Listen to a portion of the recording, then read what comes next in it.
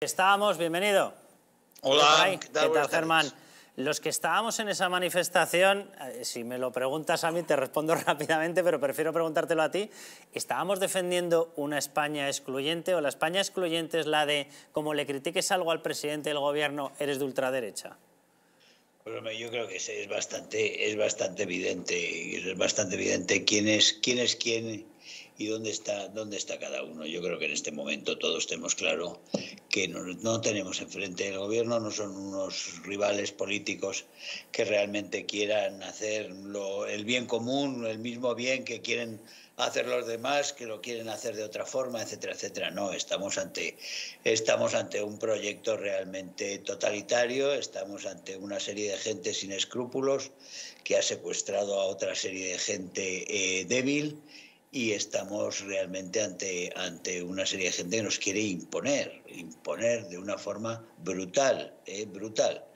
Eh, no solo con un confinamiento ilegal que les da igual hacerlo, sino con todas las condiciones y, hemos visto que son capaces absolutamente eh, de todo. La España que estaba ayer en la calle es la España que quiere libertad, y la España de, Sánchez, la España de Sánchez no existe porque Sánchez no puede salir a la calle, pero digamos el aparataje y el mecanismo que esta desgraciada evolución eh, llena de debilidades, llena de traiciones eh, y llena de dejadez y de, indolencia por parte de quienes debieran haber defendido eh, la nación y el Estado, pues nos ha traído a una situación en la cual tenemos a estos malhechores gobernando y estos malhechores quieren realmente imponernos unos proyectos y unos pasos ahora cada vez más rápidamente, unos pasos irreversibles. Y ahí es donde tenemos realmente, tenemos que poner pie en pared porque es un deber histórico eh, el preservar esta nación para, nuestras, para nuestros eh, nietos y bisnietos, que exista una España y esta España eh, está cuestionada en este momento, abiertamente cuestionada por, como digo, por malhechores, por bandidos, por gentes sin escrúpulos que por cualquier, por, por, sus objetivos son capaces no solo de destruir la patria en la que nacieron, sino que son capaces de aliarse con lo peor de España y del mundo, con los peores criminales, con los golpistas condenados, con las eh, redes eh, narco comunistas iberoamericanas. Estamos viendo ahora mismo hay un trasiego con la llegada aquí de Rodríguez, del exministro de Interior eh, de, de Chávez, un auténtico asesino que lo saca Zapatero para traérselo para acá eh, en un enjuague, como intentando presentarlo como la liberación de un opositor, cuando es un asesino que se ha quedado en el que, que ha tenido una especie de guerra de poder y ha quedado en la cárcel por parte del otro asesino que es el socio, el socio del señor Maduro, eh, del señor, eh, del señor Zapatero, el, el señor Nicolás Maduro. Es decir, que estamos, estamos hablando de una gente eh, que, no son políticos al uso. No estamos hablando de políticos al uso. Estamos hablando de una gente que nos quiere destruir a aquellos que queremos la libertad y que nos quiere imponer un régimen que realmente tenga a la gente en la cárcel, como los tienen los sus socios, eh, que persigan, que persigan a aquellos que, que dicen la verdad, que impongan mentiras obligatorias, como está pasando con la, con la, con la ley de memoria democrática, como la llaman, eh, ya pasó con la anterior, con la de Zapatero, ahora la vuelta de tuerca esta, que ya nos lleva a cuestiones penales, donde utilizan, tienen ya las reglas y los mecanismos para meternos en la cárcel a quien quieran cuando quieran, porque todo es absolutamente arbitrario. Esa es otra de las marcas de la tiranía esta, es que realmente las leyes están a su servicio, las desmontan, las, las reconstruyen, las deconstruyen, hacen lo que, hacen lo que quieren eh, y, viven en el abuso, en el abuso y además en la ostentación del abuso, como vemos en todos los casos, por ejemplo, del Falcon. Hmm. Muchas de estas cosas se, hacen a propósito para esta provocación de mostrarnos, de mostrarnos quién manda. Germán, esta manifestación que yo creo que ha sido concentración, que yo creo que ha sido un rotundo éxito, eh, trasciende lo que hemos visto nosotros, es decir, llega a determinados nichos, convence a la gente que sigue respaldando eh, esa opción de voto, que coincido contigo, eso ya ni es socialismo ni es nada, es una entrega absoluta a un comunismo, además totalmente despiadado, pactando con proetarras, con golpistas, con separatistas, da olímpicamente lo mismo todo. Es decir, la pregunta, ¿hemos comenzado ya efectivamente un camino sin retorno a conseguir que en las elecciones de mayo y en las elecciones de diciembre, en las generales, se acabe esta pesadilla? No lo sé, Carlos. Yo soy, yo soy escéptico. ¿eh? soy escéptico y yo estoy muy preocupado por muchas, por muchas actitudes, porque igual que te digo esto de que ellos lo tienen muy, ellos lo tienen muy claro, ellos no tienen ningún escrúpulo, no han, creado ya unas estructuras dentro del Tribunal Constitucional, no va a haber recurso que los, que los frene, no va, a haber, no va a haber decisiones que os paren, el Tribunal Supremo, todos se han ido doblegando, las amenazas son claras, son públicas, un vicepresidente habla de los jueces como, como lo hace, etcétera, etcétera. Ellos, ellos, están, ellos siguen su camino y sin embargo en otro lado yo veo a mucha gente que tiende a que querer normalizar la situación, a decir que esto no, que no pasa, que no exageremos. A mí me llevan diciendo que no exageremos desde, desde el 11M, ¿no? que no exageremos. Que bueno, que ganó las elecciones el PSOE, que sí, que hubo unas bombas unos días antes, pero que no exageremos, que no pasa nada, que después hubo una sentencia que solucionó todo y que fueron cuatro locos y que al fin y al cabo, bueno, pues llegó Zapatero, después vino de visita Chávez, es cierto, que es la primera visita de Estado que hubo después de las bombas y de los 192 muertos. Y después ya empezaron las buenas relaciones con una serie, con una serie de grupos que estaban en plena, en plena ofensiva para crear unos regímenes. Y en este momento Zapatero es el principal servidor de la causa narcocomunista en, en, Iberoamérica. Es, es la mano derecha de Maduro, es el hombre de enlace también con Díaz Canel. Ahora está Lula, ha llegado al poder. En fin, ¿qué más? Petro. Han logrado meter a Petro a través de violencia extrema a Petro, pero a través de violencia extrema han logrado llevar a Boric también al poder.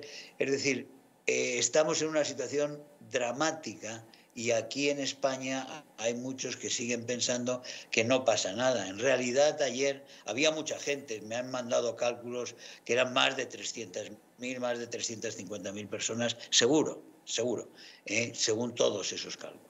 Y sin embargo, a mí me parecen pocas. ¿eh? Ahí debía de haber 3 millones o 4 millones, no sé cuántos millones de españoles tenían que movilizarse eh, para, para decir, ante lo que está pasando, ante todos esos delincuentes en la calle, los asesinos, los golpistas, los violadores, todo lo que está pasando, todas las, las leyes que están haciendo, que en realidad nos llevan a todos a amordazarnos a todos lenta pero inexorablemente.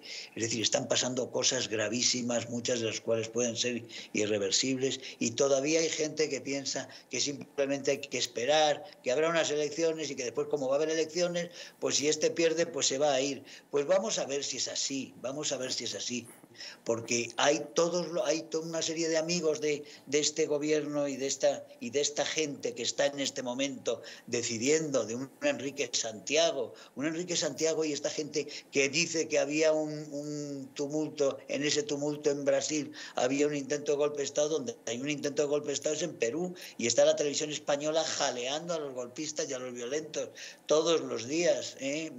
atacando al al Perú institucional y, favoreciendo a los, a los golpistas. Ahí sí que hay un golpe, no en las manifestaciones de esos viejos que han detenido, que por cierto, Lula tiene ya mil presos políticos, mil presos políticos, acaba de llegar. El señor Bolsonaro, ese malo, que era terrorífico y tal, no ha tenido ni un preso político, a pesar de todas las barbaridades que se dijeron contra él y que le hicieron, y de los asaltos y de las violencias y de las manifestaciones y de todo, y de que lo asaltaron a él y además a él lo intentaron matar. Bueno, pues eh, todo ese, doble baremo que demuestra la absoluta anomalía del proceso ya no democrático en España, ¿eh? ya no democrático en España, y que la violencia siempre, se recurre a la violencia y a la mentira siempre que quieren, a través de las balas, de los falsos envíos de balas, de las agresiones a los mítines, de las descalificaciones, de, todo, de utilizar todo el aparato del Estado a favor de los beneficios concretos de esa banda, de esas esa banda de malhechores que se ha hecho que se ha hecho con un partido socialista en el cual nadie dice ni mu, eso es terrorífico. Y si ves el Partido Popular, en el Partido Popular hay gente que dice que hay que esperar a que, a que vengan las elecciones y que se van a ganar, y que se van a ganar y que van a gobernar fijo. Pues yo no lo tengo tan claro. Yo creo que España tiene que moverse mucho para salvarse porque España ha dejado, han permitido tantas cosas a lo largo de los últimos 30 años, ¿eh?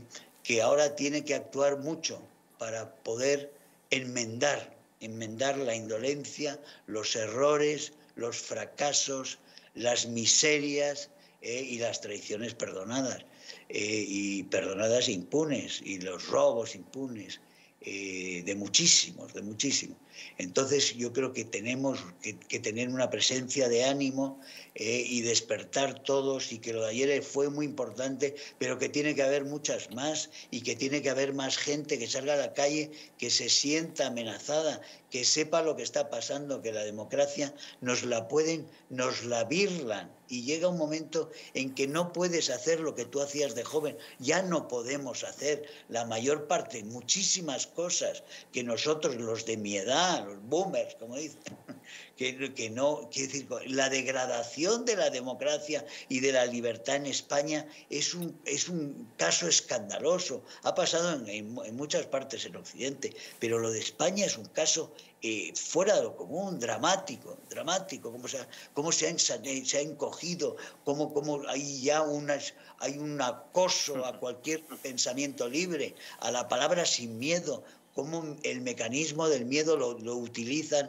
permanentemente. Es tremendo. Por eso digo, eh, muy, muy, muy contento con lo de ayer, muy contento con lo de ayer, pero tiene que haber muchas más, muchas más, y tendrá que haber una de 300.000 o 500.000 o un millón enfrente de Moncloa, y en la cual haya un millón que diga que no se va de allí hasta que se vaya a este hombre o convoque elecciones de verdad, y después que tengamos realmente eh, las garantías y que, y que, y que tengamos controles. Porque yo, como digo, no me fío de los malhechores. Yo sé que aquí estamos tratando con gente que yo conozco de otros sitios y que yo sé que en otros sitios yo sé lo que han hecho. ¿eh? Sé lo que han hecho. Y pues estos, aquí, estos aquí, Carlos, están elogiando a, sus, a, los que tenían sus siglas eh, hace 80 años eh, y diciendo y elogiando las barbaridades las barbaridades. Pues veremos, Germán, lo que, lo que pasa y, veremos si la gente efectivamente se va, se va movilizando. Germán, un abrazo fuerte y muchas gracias. Un saludo muy cordial a todos. Un abrazo.